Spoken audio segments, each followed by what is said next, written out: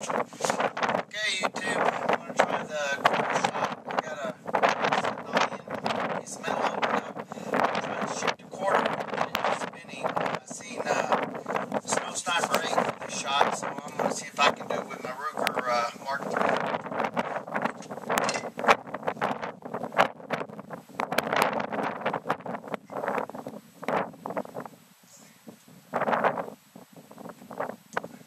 Take it off safety.